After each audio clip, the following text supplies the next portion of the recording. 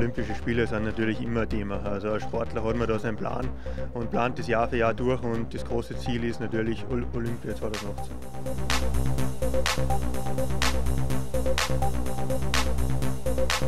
Olympische Spiele schlägt alles.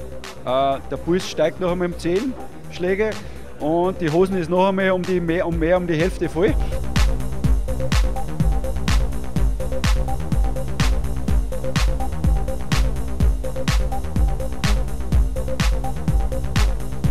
Sportstätten sind sehr gut unterwegs. Äh, die Eisschnelllaufhalle wurde ja jetzt gerade eröffnet. Äh, auch die Sportstätten für ein Mountain Cluster sind wirklich in einem tollen Zustand. Man fährt vom Ziel des Riesentalers vielleicht fünf Minuten bis zum Österreichhaus hin. Und das Ganze Mountain Cluster ist sehr kompakt und wird äh, eine tolle Stimmung erzeugen. Und wir werden ja wieder ungefähr 100.000 Stück Gebäck machen. Wir werden wieder ungefähr zweieinhalb Tonnen Kuchen produzieren. Wir wissen sogar schon, wann unsere Bäcker anreisen werden.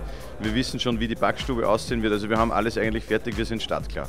Heute kamen schon die ersten Ticketbuchungen, die Hotelbuchungen, Reisepaketbuchungen rein. Was muss man beachten? Jetzt hat man noch die große Auswahl. Jetzt ist noch alles sozusagen vorhanden. Äh, jede Eintrittskarte, welche auch immer ich mir da wünsche. Jetzt kann ich natürlich ideal meine Reise planen.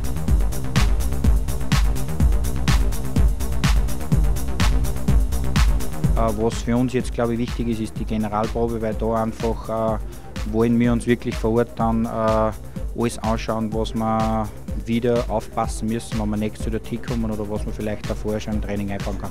Ich war zweimal dort, einmal so äh, 2,9, 2,8 zur Vor-WM und 2,9 dann zur WM und äh, sehr erfolgreich. Also hat sich die Reise absolut ausgezahlt, weil wir haben äh, äh zwei Medaillen abgeräumt, also zweimal Silber und der Dominik Lahnert damals als, äh, glaube ich, jüngster Weltmeister im Massenstart.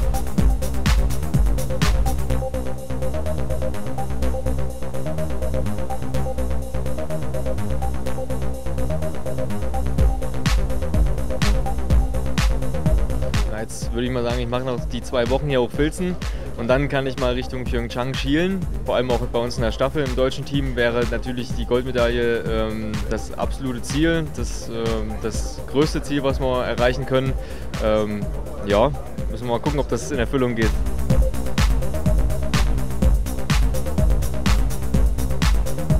Irgendwo halt auch, ja, gibt es glaube ich so eine Traumvorstellung oder, von einer Karriere, was da alles dabei sein muss im besten Fall. Das ist halt eine Kugel, eine Olympiamedaille und eine WM-Medaille. Und wie gesagt, eine Olympiamedaille fehlt mir und von dem her ist das schon mal ein ganz großes Ziel. Ja.